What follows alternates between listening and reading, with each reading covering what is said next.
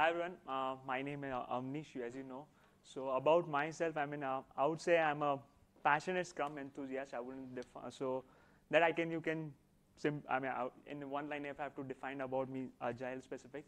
So to give you background, I have worked as a developer. Okay, I am from a technical background, and I moved to agile because I started believing in this. I, I thought, I mean, at one point I need to take a decision: do I stay technical or do I become uh, to move this direction. So I started uh, developing interest towards this area. So I decided to move towards agile. So uh, the reason to join this agile coaching, so I worked as a scrum master. I wanted to grow in this particular area. I wanted to meet new people, connect with them, and uh, maybe a next level of certification will help me.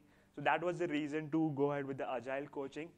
The thing what I learned from, uh, so I would say the thing that I learned from this particular workshop is like, uh, I had a, when I, before I joined this training, I, uh, from, I had a one point of view from what agile coach would be, but now that has completely changed. I mean, what that could, you can say my aha moment as well. So I've totally unlearned the things what I uh, earlier had, and now I'm going to work on those particular area to improve it.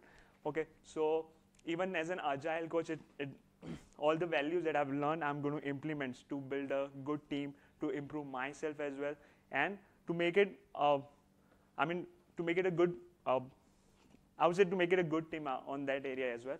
So these are the learning I would say, and uh, on a roadmap. Uh, so right now uh, on a roadmap, if I go ahead, so right now I'm still learning. I, I I'm thinking like for I really want to learn for like a year or more more about on this whatever concept I've learned. I want to implement that within my team, uh, within a different team. I want to coach people. Uh, I mean, based on the understanding what I've got through this session.